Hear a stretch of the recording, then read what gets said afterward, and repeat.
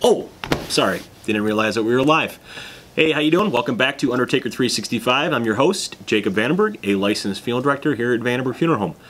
This is our viewer discretion advised message. Please, this information and video and content we're just giving to you as the viewer uh, should be taken as an advisement that we are talking about some serious issues, um, serious content, and viewer discretion is advised. So please read our message, follow us, uh, understand that the information that we're giving to you is solely my opinion, the opinion of Undertaker 365 and myself, Jacob Vandenberg, as well as the field experts that we bring into our content, into our series. It's their information, it's their opinion.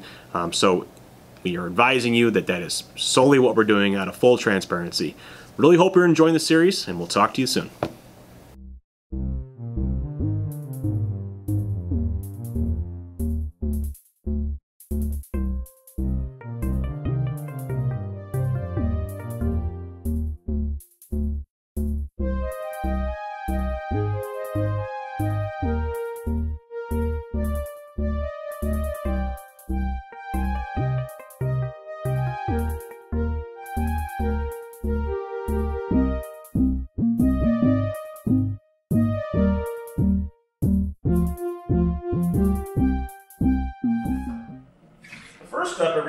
To wash out yesterday's mug. And then I'm going to take a new mug out. Today's going to be the signature of Donald Trump. We're going to place a K cup. Today's taste for me is Cinnabon Classic Cinnamon Roll. Put that inside the machine. Pop that baby down. 10 ouncer. She's a brewing. Stir. So every cup of coffee deserves a little cream and sugar. just a tad. Just to get the, the flavors.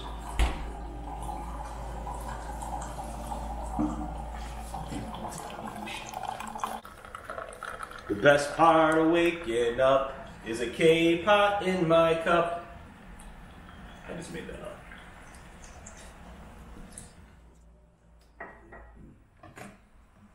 Oh, remember when we were doing the boxing, the unboxing, the reveal? Check this out.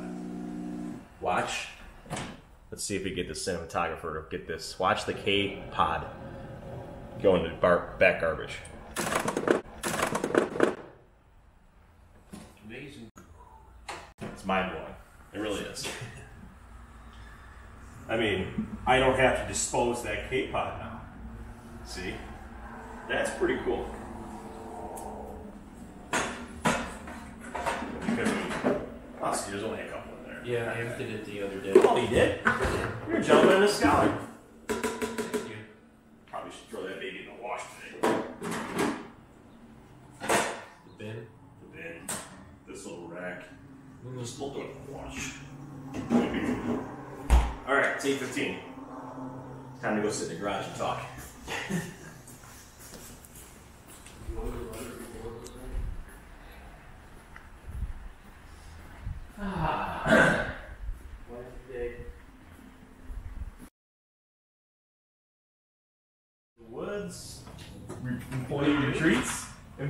Employee retreats.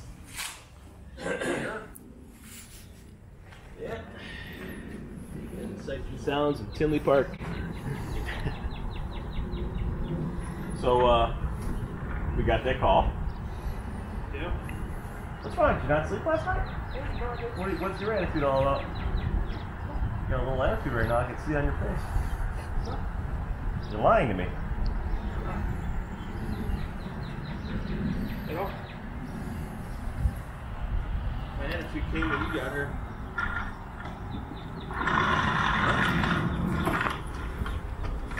Go back.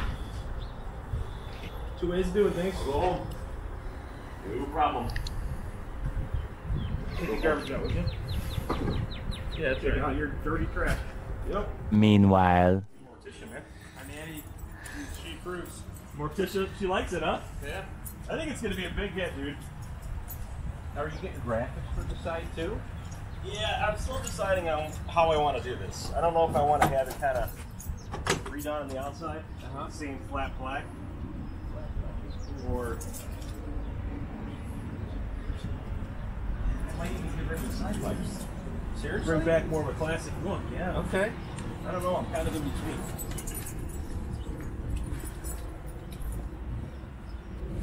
Got a little water on the floor here. Got a little water on the floor here, Romes. Oh yeah. It rained pretty. Wow. Might have to treat it like a convertible.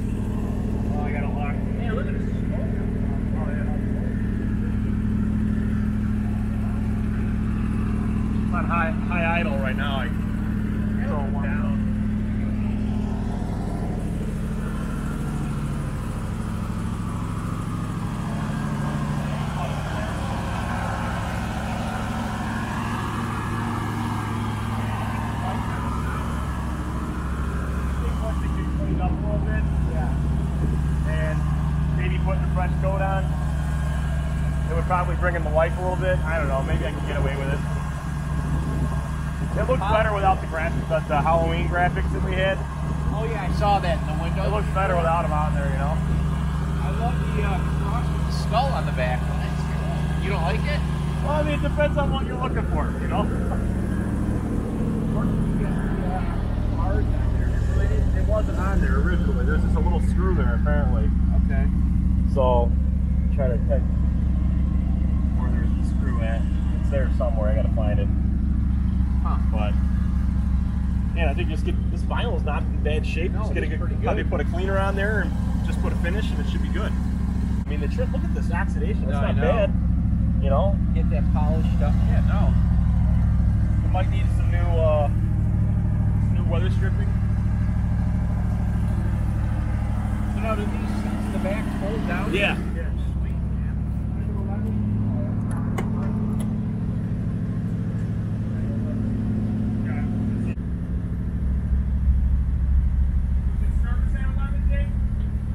She didn't specify. I would call her. man.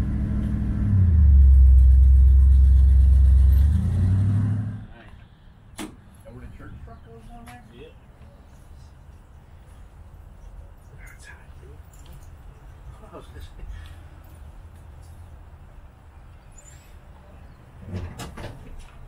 Very nice. What's up? yes, this is in person. Come on over. What's up? How you doing, Eric? Something fell when I hit it. Did you hear it drop or something? I heard we closed the back door. I heard some. Oh, right oh, there. The handle. The, The handle door- yeah. up. One hour later. So, in the midst of the COVID 19 global pandemic, uh, the funeral home here at Vandenberg Funeral Home has had to adjust a little bit on how we conduct our services via arrangement conferences, via our funeral services that we offer to families. And one of the great things that we're utilizing outside of Facebook Live options for families is a program called Zoom. Uh, Zoom is a tele audio video conference that we're able to set up and send via email to the families we're serving. Um, most recently, we actually conducted an arrangement conference as well as a funeral service for a family um, that had requested that, having up to 65 to 70 participants. So, pretty incredible that we're able to bring the funeral service to people not physically able to attend, um, given the circumstances and the mandates that are um, put upon us by, this, by the state government. Uh, today we're going to be doing a Zoom conference with the family for arrangements. We're going to be going over the various services that we offer as funeral directors in a funeral home, and we're going to do that all in the comfort of a tele-video conference. Um, a critical tool that we're able to bring to the families that we're servicing, servicing here at the funeral home.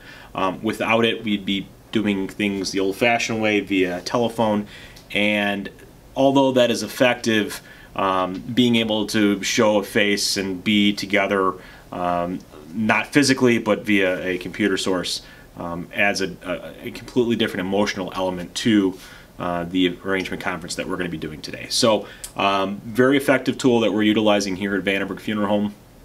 Um, and, and we're, we're, grateful that it's working out thus far. And we hope that the families that we're servicing appreciate the fact that we're trying to take the steps that are uh, that are necessary to build that relationship between the funeral directors, the staff, and then obviously the family. So uh, we have an arrangement here shortly, and it's time to start prepping. Thank you. Of the patients was, that are seriously ill from COVID did not have a fever. I thought that was one of the. That was the first one of the first symptoms of high fever. Now they're saying two thirds of them having huh. that have no fever at all. That's, That's a good thing because I feel feel warm right now. You probably got to go number two. All right, I'm gonna head uh, head to Skyline.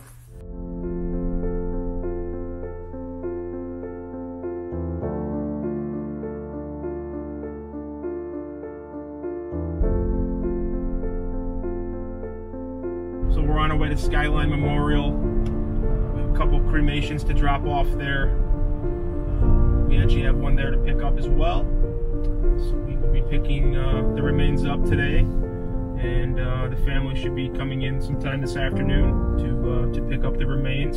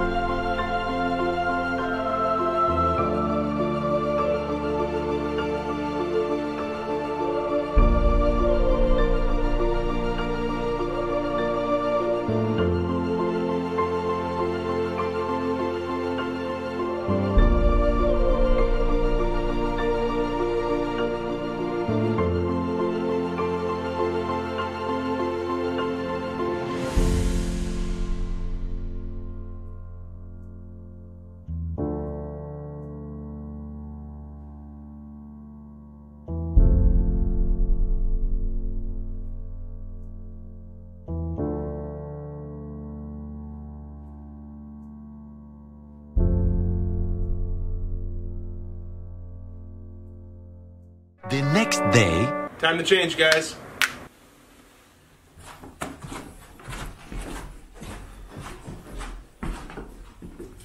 Turn all the lights on here. We have the uh, the arrangement area here. Um, currently, kind of we have set up for a little social distancing if we had to make arrangements face to face. So it's uh, again the funeral home's just trying to adapt to to the new times right now, and it's uh, it's quite uh, quite different.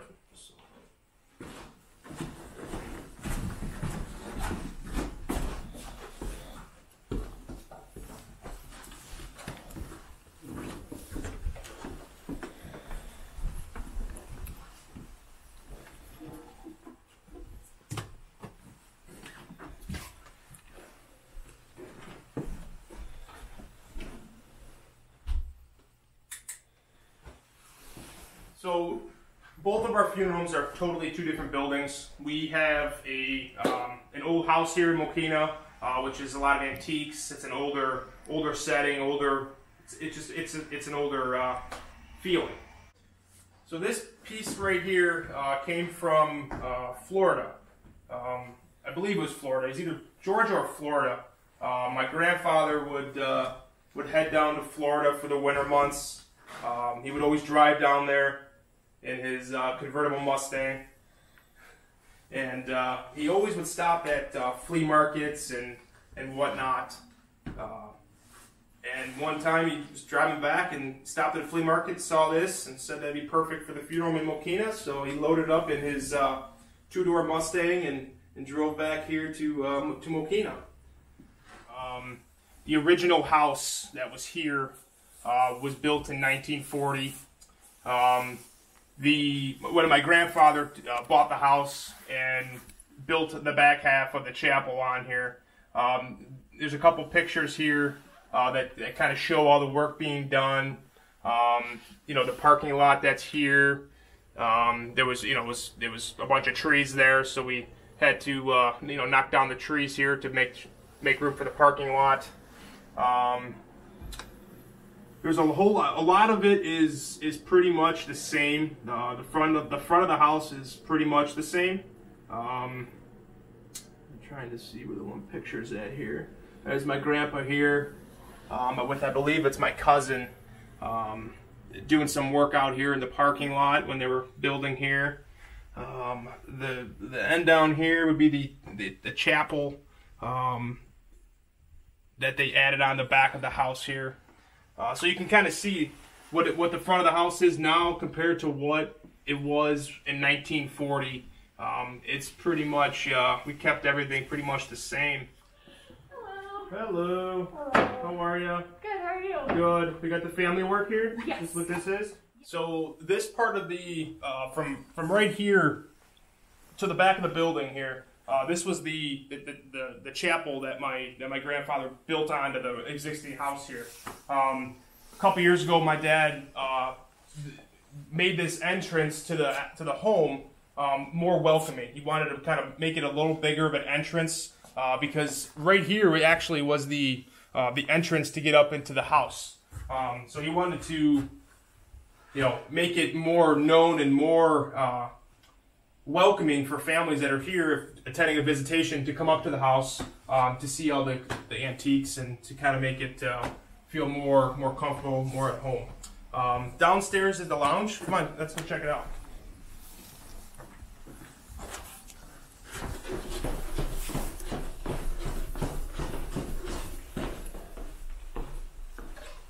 So downstairs here, um, it's a huge area. Families love it down here. Um, they can bring in, you know, other kinds of foods, pops. Bathrooms are down here. Um, it's uh, it's definitely a nice little gathering area for, for children um, if, if they're uh, attending a visitation. Um, it's a uh, again, it's it's uh, it's a big room to to congregate a little bit, have a sandwich, some cookies. Um, whatever, you, whatever you guys want to. Hey, welcome back to Undertaker 365. I'm your host, Jacob Vandenberg, a licensed funeral director and embalmer in the state of Illinois. Uh, this is our newest segment of our series called A Drive Around with an Undertaker. So, a series of questions have been coming into our show, uh, and I'm about to go over episode two of this uh, question and answer. So, our first question is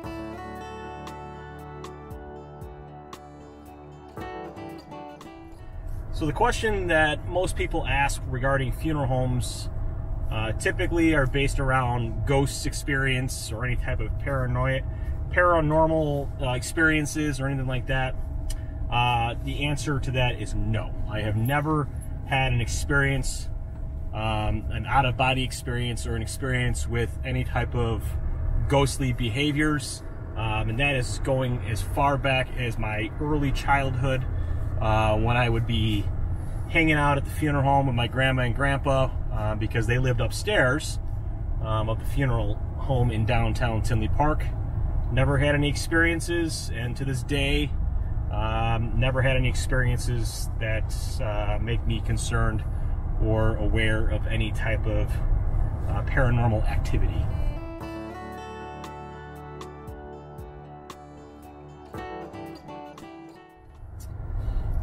So, as I mentioned in the previous episode, uh, one of the underlining factors for the funeral services, yet we are a business, um, we do collect money from individuals for funeral services. So, the question is what to do if the individual has no money. Um, this is the part of the business that is probably the hardest. We do not want to sound callous. We do not want to sound under, misunderstood, misunderstood or not that we're understanding at all of the scenario.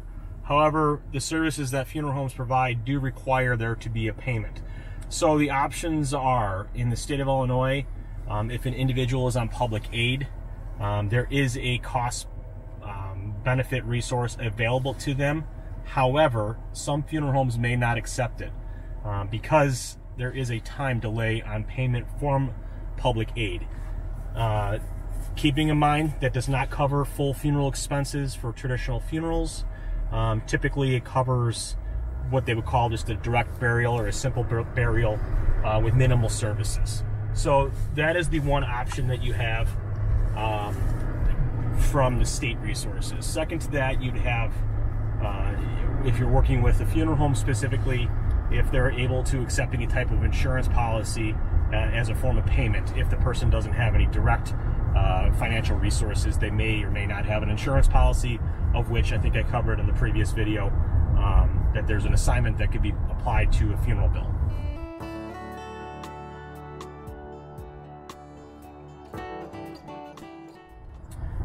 So, do you have to call the police if there's a sudden death? Um, the answer is you should call 911. Um, given the scenario, I mean, this is an extremely complex question. Um, sometimes it, people pass away at home, um, whether they be underneath some type of health care or hospice care. You would not call 911 in those type of scenarios. You would call your nurse, your hospice agency. But if, for instance, you found somebody deceased in their home and they were not under, underneath doctor's care or some type of health care or palliative care, you should call 911. They are the first responders. Um, they would be the ones that would be deciding over the, the, the, the, proper jurisdiction or transfer there would be from um, from the location of the deceased to whether it be the coroner's office or the medical examiner's office or in some scenarios directly to the funeral home. So a very complex question. Long story short, you should call 911.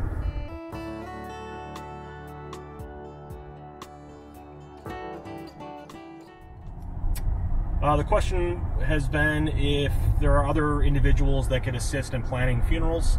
Um, in the state of Illinois, it is a law that a professional licensed funeral director be the one to handle the arrangements uh, for funeral planning.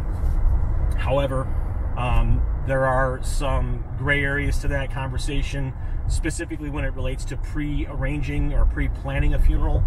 Um, I know that there are insurance companies that have uh, insurance rep- representatives that are going out to the community and and and and selling a product to individuals. And during that time, they're going over the planning process of the funeral. Um, but to be very specific, a licensed funeral director um, in the state of Illinois specifically should be the only one that you're dealing with to directly plan a funeral.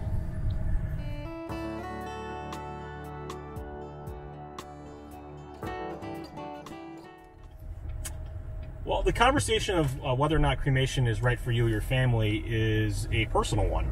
Um, it, it's going to come down to, in my opinion, multiple um, multiple reasonings for, for why you would choose cremation. Um, I think there's this this uh, I don't want to say urban myth, but there's this connotation that uh, cremation is cheaper than burial, and and and in a very broad stroke conversation, that is true.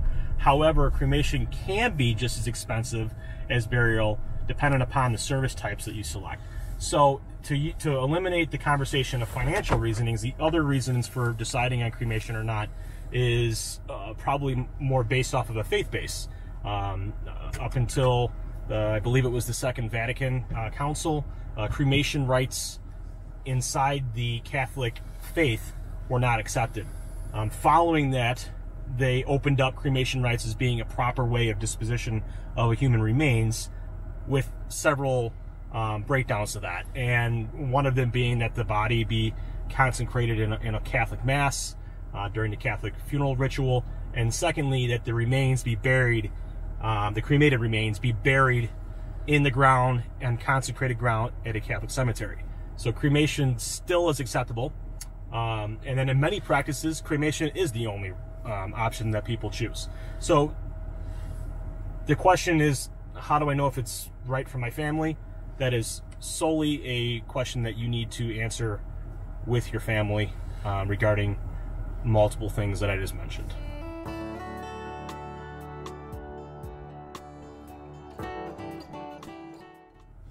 Do you have to have a funeral? Um, again, funeral. The word the word funeral um, relates to so many different service types within the funeral service. Um, again, very broad stroke comment or question. However, if you were looking at it in the case of funeral meaning service um, or like religious service, the answer would be no. You do not have to have a funeral service. Um, if that's something that you and your family do not find value in or don't hold dear your heart, then no, you do not have to have a funeral service. Now, if the word funeral were to mean uh, visitation or viewing or memorial, um, the answer to that as well is no, you do not have to have that.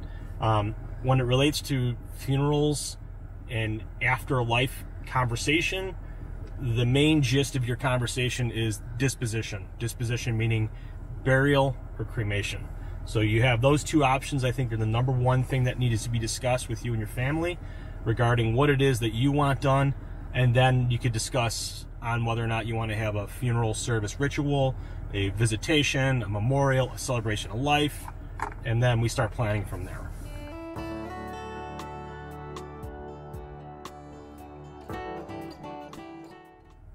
Um, well, very simply, I mean, most of the funeral home websites uh, would have uh, the opportunity to download or to go over a funeral checklist. Certainly, calling the funeral home, they could mail one to you. You could stop in and pick one up. Um, funeral checklists are, are, are, are, again, they could be very detailed or they could be very basic.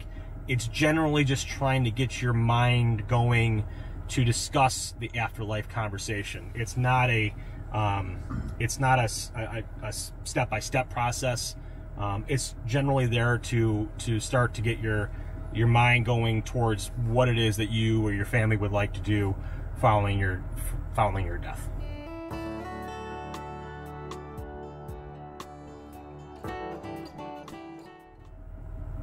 Uh, my role as a funeral director and embalmer um, at the funeral home is it, it, very complex. It starts from the moment that a family or a nursing facility or a hospital calls the funeral home, engages the funeral home in taking care of somebody that's passed away, um, the removal process, the embalming process, meeting the family and going over, going over the arrangements, um, planning and scheduling and ordering all the different things that are required to fulfill that uh, service that they have requested. Um, it's going to be dressing, cosmetizing, casketing of the remains um, if they're going to be buried or if they're going to be cremated with a viewing. What's going to be scheduling and handling all of the vital statistics. In Illinois, we use the Illinois Vital Record System. That takes care of the death certificate process. So the, the, the funeral director is kind of the quarterback when it comes to handling the death certificate from getting the information from the family, to getting the doctor to sign the death certificate, to filing it in the county of passing. That all flows through the funeral director. So the director is handling every facet from the beginning to the very end of the discussion of funeral services. And then you segue into what does a director do during a visitation, during a funeral service, during a burial. They are literally the person that is handling step by step processes um, in regarding to logistics, in regarding to transportation, regarding directing families where to go and how to do it, um, making announcements, saying prayers, um, anything that you've seen in the past when it comes to uh, traditional funerals or funeral that you've been a part of, the funeral director has literally taken step by step um, uh, action to make that happen. So, all the way up until the right of disposition, whether that be burial or cremation, your funeral director is handling every facet of that service.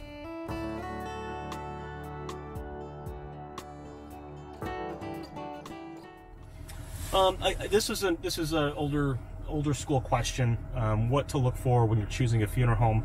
Um, I'm I'm going to be very biased on this. We are a small family business. We have been since its inception. Um, we will continue to operate that way. When it comes to funeral homes today, you have small family businesses, and you have corporate funeral homes. Um, I won't get into the specifics of what I think is right and wrong. I will speak to how we operate. Um, as I've mentioned in the past, when you call our funeral home, you're dealing with basically a direct relative or a Vandenberg as it relates to um, our funeral service. So I think that's extremely important. I think that's something that somebody should look for when they're choosing a funeral home. It should be a very comfortable conversation. It shouldn't be very. It shouldn't be corporate. It shouldn't feel very commercialized. It should feel. You should feel comfortable and understanding. Um, obviously, compassion is important when you're dealing with this, but also you're looking for people that are answering your questions fully and accurately, and they're not trying to, you know, get you to come in through the door before you make a decision. They're trying to answer your questions as best as they can via the phone or email, however, however which way you're communicating with them. The other thing I think it's important is that you know a lot of funeral homes probably hide behind their prices. Um, you know, and, and in order to get their accurate pricing, you have to request a general price list um, in person or going into the funeral home. You know, for me at our funeral home, our prices on our website. We we, we don't hide behind our, our prices at all. It's very open and transparent. Um, when we put our price list out there, we put our name on the top of it because we believe that actually the services that we're providing they have a cost, and that cost is what we put in black and white. Um, a part of that too, we have a in our website we have a build my uh, price my funeral or build my funeral. Um, again, it's another tool available so families feel comfortable knowing what it is they're selecting, what how they're approaching it, and how it's gonna what it's gonna cost at the end. Again, open, honest, transparent conversation regarding end of life conversation and planning.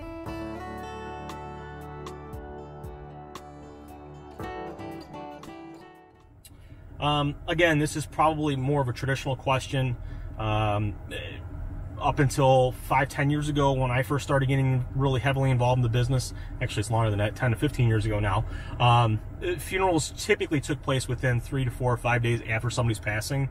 Um, that, however, has changed drastically. We live in a world now where people are, are planned out their schedule for months and weeks upon on end. Um, they have vacations and they have different business trips they have to attend to. So it's it's it's harder for people to schedule funeral services when somebody does pass. So that has changed from the three, four, five day time frame.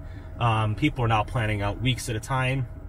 And again, a lot of that has to do with the manner of disposition. So whether it be burial, cremation, um, a lot of it might have to do with simple timing, dependent upon holidays and etc. I mean, there, there's a lot more that goes into it um, nowadays than it did back, you know, 15, 20 years ago when when somebody passed away, we kind of dropped everything and and, and and as, as a society, we dropped everything and we planned that service and we we dedicated dedicated ourselves to you know two three full days of mourning and, and handling funeral services. Not to say that we don't put value in that today. However, our society has changed drastically um, in in regards to how do we plan out our lives and logistics.